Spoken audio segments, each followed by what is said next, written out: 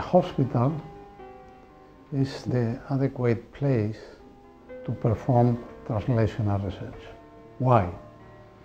We have the patients, we have the healthcare professionals, and most of the important questions are originated in this relationship between doctors and nurses with patients. Hmm?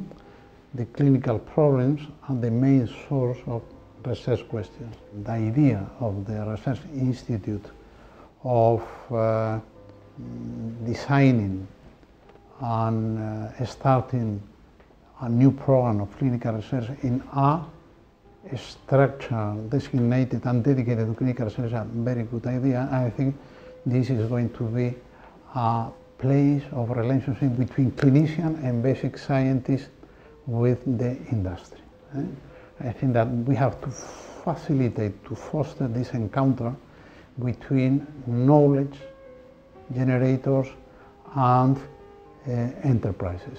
To make possible clinical innovation, we need this kind of units. There is an interface between the clinical work and the development of drugs of the industry.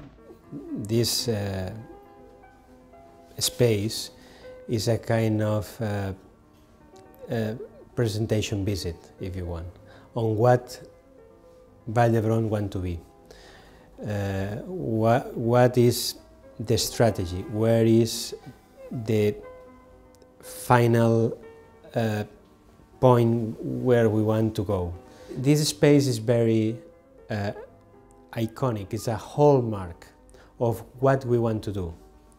I mean, it's the final uh, bit of Vall for being in the uh, forefront of clinical research in Spain and in Europe.